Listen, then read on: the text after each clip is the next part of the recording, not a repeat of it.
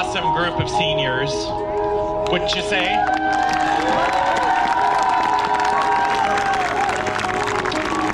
And what's so special about them is they had the opportunity to do two Grand Nationals, the Rose Parade, get through COVID marching band as a freshman, um, where we didn't really have a season, um, and then be able to do this and get to, get us to this point. So we're really, really proud of every one of these.